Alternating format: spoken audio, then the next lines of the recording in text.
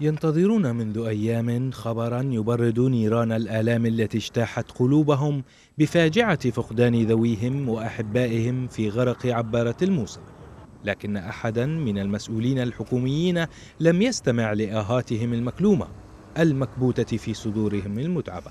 أمام قسم الطب العدلي بدائرة صحة محافظة نينوى اجتمع هؤلاء الرجال والشباب الذين فقد كل واحد منهم في فاجعة العبارة إما اخا أو اختا أو زوجة أو ابنا أو عزيزا من الأقارب أو الأصدقاء.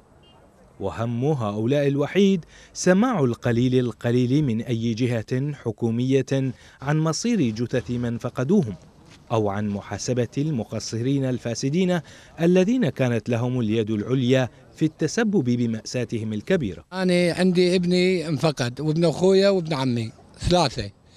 وما شفنا أي حركة أي إنسان خاصة من مجلس محافظة نينوى. صار لنا أربع أيام لحد الآن ما شفنا أي مسؤول. قال لنا إحنا سوينا هالشيء إخوان أو اتخذنا بحق الغرقانين الاجراء الفلاني أو عثرنا على جثة أو خبرنا أو اتصلنا. لحد الآن ما شفنا.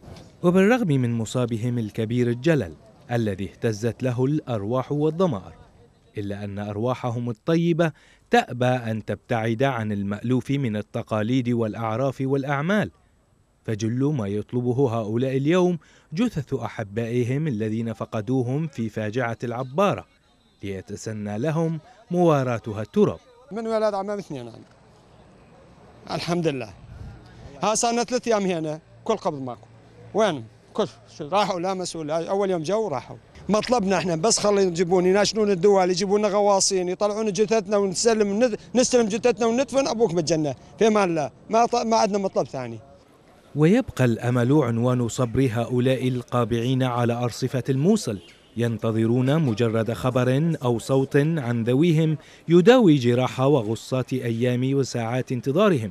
وهم يدركون أن هذا المنتظر لن يأتيهم إلا من الله أو من يسخره لهم من عباده وليس من الحكومة أو منتسبي مؤسساتها المختلفة الذين ما زالوا يحسبون بالميزان كفتي الربح والخسارة من الفاجعه